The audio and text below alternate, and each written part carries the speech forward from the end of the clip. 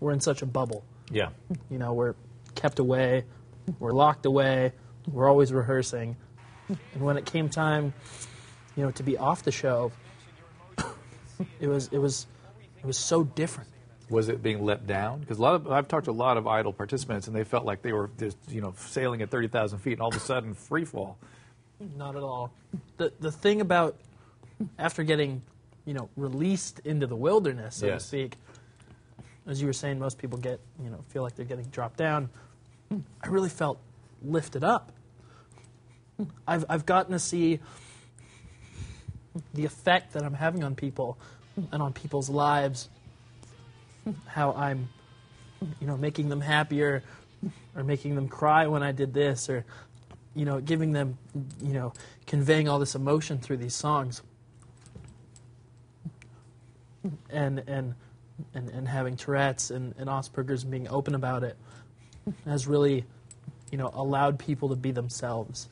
No, you've had it very. In fact, we're gonna we're gonna a little later we'll see some footage of a young girl who said it was the meeting you was the most important and, and uh, highlight of her life, biggest day of her life.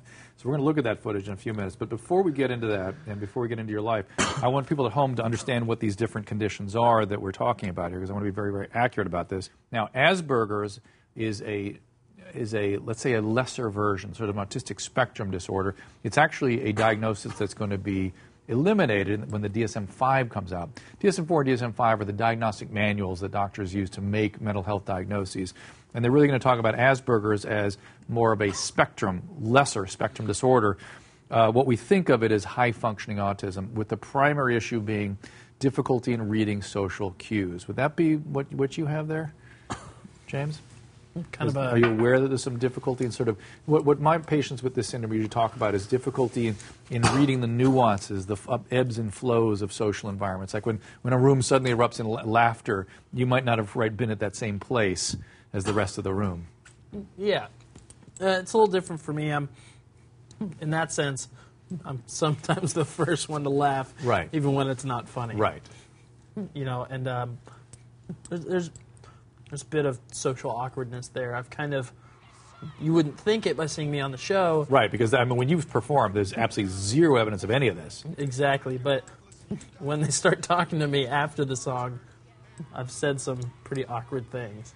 Is that because Tourette's or the Asperger's? Because Tourette's sometimes you'll blurt out things you don't really mean to have publicly uh, said.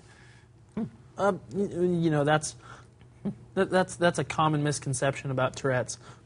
You know, and, and only about four or five percent Have the vocalizations. have the vocalizations, All which right. is the term is coprolalia. That's correct. And uh, have you ever seen the translation of coprolalia? the actual literal translation? No, We'll talk about it out the air. Uh, let's just talk. Let's define Tourette's for people at home again. The symptoms often occur early in childhood, which I imagine they started with you. What age? um, I was diagnosed diagnosed diagnosed when I was ten. With Tourette's. Yes. How about the And Asper- Asperger's. Asperger's? So at age ten. Same time. All right. So it's motor or foc- vocal tics that last more than a year, uh, simple tics many times, or complex motor tics. In other words, small motor, small facial tics, or even large body movements. Do You have, you have both, or one or the other?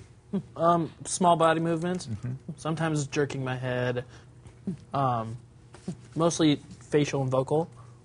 Um, sometimes I I did this somewhat OCD a little bit thing where Well, Tourette's is on the spectrum with OCD, isn't Yeah. it? Yeah, it's a, a spectrum of that. These things, these all they kind of blend from one to the other. It's not a discrete, you know, cutoff where hey, it's just Asperger's or just autism or just Tourette's or just OCD. They're related ADHD, disorders. Yeah, it's everything's kind of blended into Yeah. one, and I find myself sometimes I have to do things, but most of the time it's I can't control it.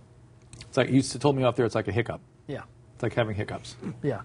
And so, how has the experience in American Idol uh, m- contributed to maybe you dealing with this or being of service to others with this similar condition? Wow. Being on the show and being on Idol is is a, is a whole nother spectrum to what I'm used to. I'm used to being at home, being in my comfort zone, being with my family. By, by family, you mean your family of origin, or have you formed a family? You have a son, right? Yeah, my son and my fiance. So that's by you mean family. Do you mean those two? yeah. Yeah. you know, living, you know, and being with them, you know, and there's no stress.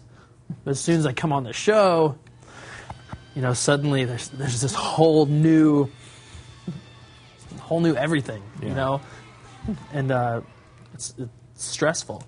So to to cope with that is is was probably the hardest thing, you know, coping with this new new time of getting up really early, you know, having to go to bed early, or just get used to going to bed late and getting four hours of sleep. You know, sometimes that's what it was three or four hours of sleep a night, getting used to that, and no sleep and the stress that comes with it. You're, you're 22 years old now, is that right? Yes, sir. Your fiance is a bit older, 31. 31. How'd you guys meet? Our moms were friends at church when I was four and she was 13. Nice. And so we both, after that, kind of went and lived our lives. And Does she share your love of music? yes, Is it hard to be away from them, though? it, it really is, yeah. And uh, I got to go home for a week. I hadn't, seen, you know, been home since February. So I got to go home. Now let me. Now here's where the ago. Asperger's can sort of get in the way here. Is, is your your fiance having trouble with that distance? Yeah, and you may not read that that stress on her. You know Well, what I mean? it, it definitely is. she has yeah. to tell you. She has to you know be clear with you. If Yeah. That's what's happening. Yeah. Can you understand that? Oh, definitely. Yeah. Okay. Yeah. Um, everything from my Asperger's to Tourette's has actually gotten a little lighter, so to speak, since I've been a kid. So it was worse when you were a lot younger. Oh, yeah. Interesting. And and you had a pretty rough childhood. I guess your dad was a drug addict. Is that right? Yes, sir. And, and he died of addiction. He died of a heroin overdose, uh, relapse, when I was nine. Did it have an impact on you? You think? I mean, sometimes uh, it's not very pleasant to have a drug addicted parent. I mean, kids kids feel all that. I, I, he wasn't really around because my parents were split up, So, so and, didn't a- and he was a musician, so he was off away on the other side of the country for you know most of my life. So, all in all, I only, from what I remember, spent three or four days with him. And when we come back,